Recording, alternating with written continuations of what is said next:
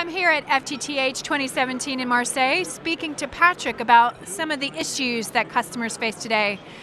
Patrick, what are you hearing from our customers in terms of challenges? Well, the biggest challenge I see in the market is that the speed of building your fiber network is an issue. And that's due to the lack of skills and also due to the lack of enough people having available in the field to install the product. Thanks to a hardened portfolio, we avoid the splicing in the field.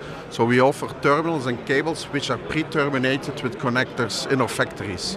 So these allow now for very fast and easy installation in the field thanks to simple plug and play activations.